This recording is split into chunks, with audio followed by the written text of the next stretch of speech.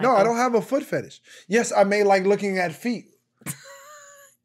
if it's a girl I'm talking to. But besides that, that's it. Nice feet are nice. Yeah.